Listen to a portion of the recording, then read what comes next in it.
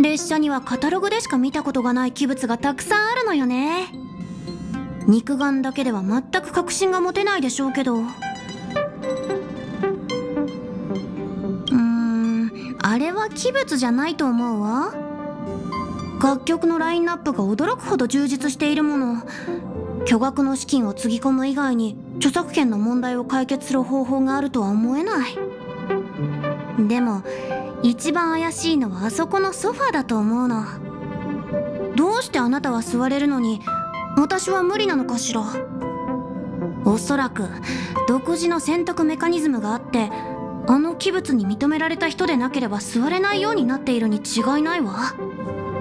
うーんもっと調べてみないと。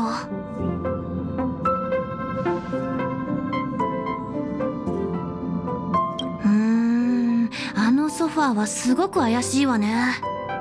どうしてあなたは座れるのに私は無理なのかしら？おそらく独自の選択メカニズムがあってあの器物に認められた人でなければ座れないようになっているに違いないわ。